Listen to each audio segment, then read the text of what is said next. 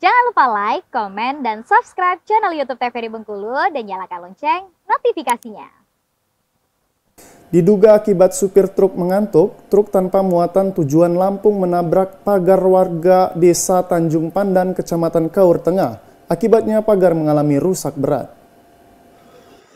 Sekitar pukul 3 dini hari tadi, warga desa Tanjung Pandan, Kecamatan Kaur Tengah dihebohkan dengan kejadian truk menabrak pagar rumah warga. Kejadian kecelakaan tunggal terjadi saat truk tanpa muatan bernomor polisi. Kejadian kecelakaan tunggal terjadi saat truk tanpa muatan bernomor polisi BE 8976 yang hendak kembali ke Lampung lepas kendali yang diduga sopir saat berkendara mengantuk.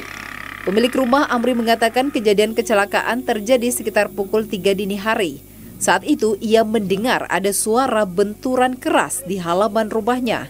Mengetahui suara benturan tersebut, ia keluar rumah dan melihat truk sudah menabrak pagar rumahnya.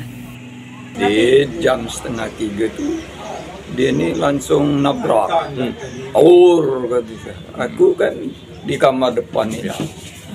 Dia aku buka jendela ni kan Waktu itu aku tengok ini mobil ni lah inilah lah parkir parkir depan rumah tinggal lampu tu lah kan ini lap klep kan Sopir truk Rizal mengaku saat berkendara dalam kondisi mengantuk sehingga saat melintas di desa Tanjung Pandan Jalan Lintas Barat Sumatera kendaraan yang dikemudikannya keluar jalur dan menghantam pagar milik warga.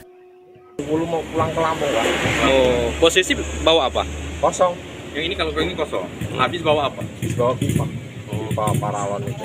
Oh, dibawa ke Bengkulu ya? Tapi kan masih jalan sering lewat sini. Sering, kan? ya. Ngantuk itu nama. Ngantuk ya. Saat ini truk sudah dilakukan evakuasi, sementara pagar rumah warga yang rusak sudah diganti rugi pemilik truk. Tim Liputan TVRI Bengkulu melaporkan.